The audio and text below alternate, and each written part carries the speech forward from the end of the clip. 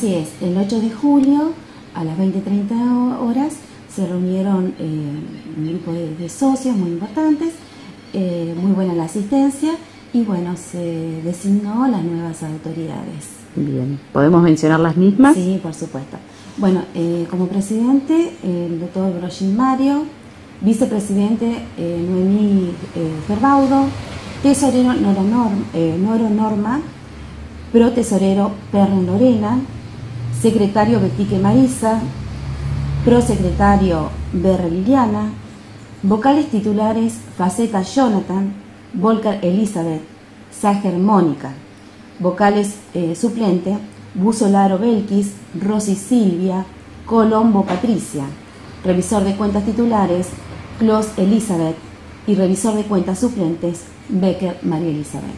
Bien recientemente asumida esta comisión, imagino ya después, ahora se pondrá a trabajar en eh, nuevos proyectos y expectativas ¿no? para la institución. Exacto, por ahora todo viene toda la parte de, organizar todo lo que son eh, los papeles, eh, presentar todo lo que sea ante la provincia, ante la CONAVIT, y bueno, desde nuestro lugar como bibliotecaria, por supuesto, seguir trabajando y presentando proyectos eh, dándoselo, ofreciéndoselo a la comisión para que ellos resuelvan si, es viable o no, o, cómo podemos sumarnos a ese proyecto. Claro. Eh, bueno, ahora por otro lado se, reanudan las actividades, estuvieron una semanita de vacaciones con las puertas cerradas, pero eh, ya obviamente la biblioteca está con las puertas abiertas y bueno, para que todo el mundo pueda seguir material, consultando los diferentes materiales, ¿no? Sí, sí, tuvimos tan solo una semana eh, y bueno, eh, seguimos con el mismo horario de siempre, de 9 a 11 y de 16 y 30 a 18 y 30.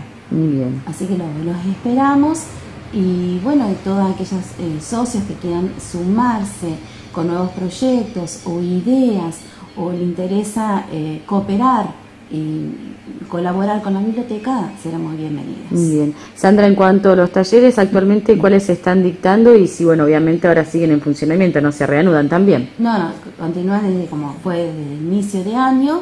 Eh, seguimos con informática y con inglés.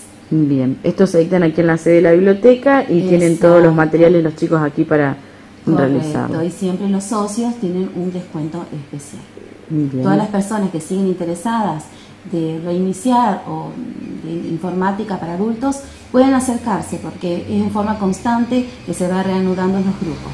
Claro, no es que el que no empezó de principio de año no. puede más. Exacto, se forma un nuevo grupo eh, paralelo al que ya está continuando y se inicia con lo, necesario que la, profesora eh, decida.